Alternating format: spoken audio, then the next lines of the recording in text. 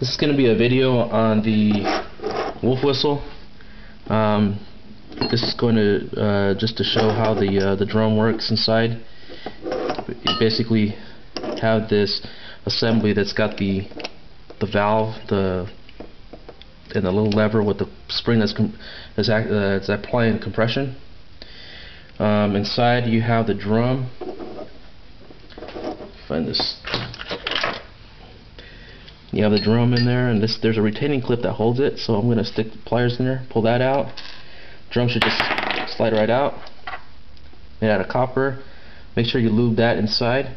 And there's a little spinning wheel that's in there with a bunch of holes so it'd be a good idea to get that lubed. So basically you just have the empty barrel in there.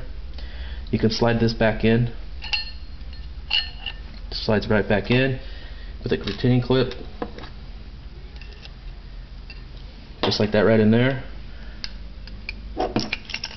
now this pump uh, or this wolf, uh, wolf whistle should connect to your intake manifold that's supplying the vacuum.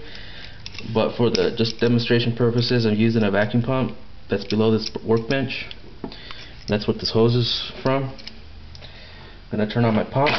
You pull the lever